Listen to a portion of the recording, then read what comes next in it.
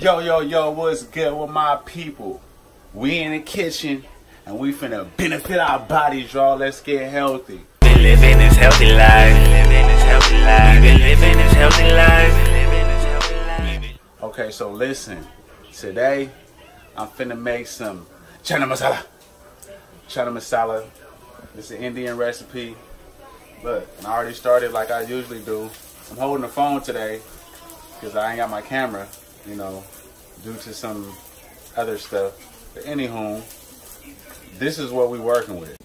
So we got some some peppers, some green peppers, not bell peppers, but these are like they kind of like bell peppers. They not too hot. So we got some onions right here. uh, Some uh, mushrooms. These are some hot peppers. We got some bell peppers. We got some more onions. And we got the onions in here cooking up right now. You feel me? Popping off in here. You already know how I do. I be chefing up.